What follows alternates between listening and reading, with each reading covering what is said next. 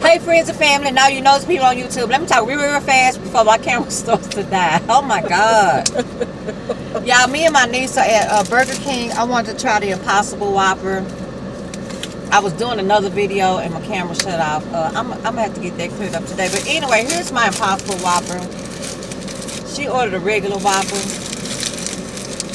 She ordered the cow. Move. I ordered the plant. My burger is looking a little dry.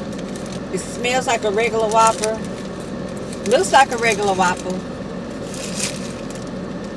It's flame broiled, but let me taste it. The bread is kind of dry too.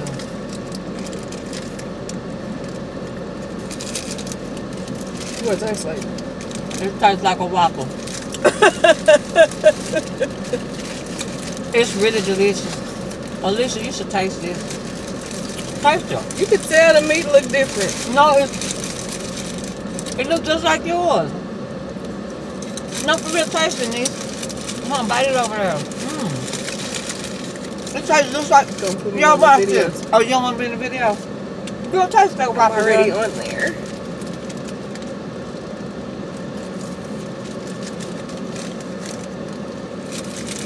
What you think? It tastes just like a Whopper. It, It really does. does.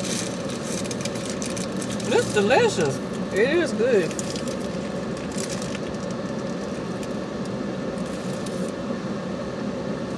Mmm. I like it. Look, I would buy. It's good. What you talking about? I'm gonna get this again. I don't do a lot of fast food. This is really delicious. The Impossible Whopper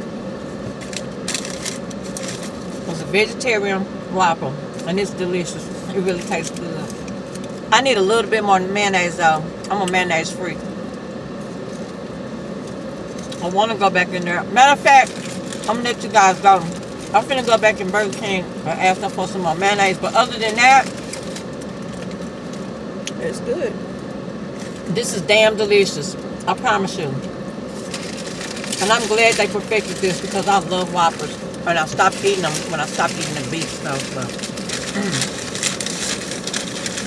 Mm. Bye, y'all.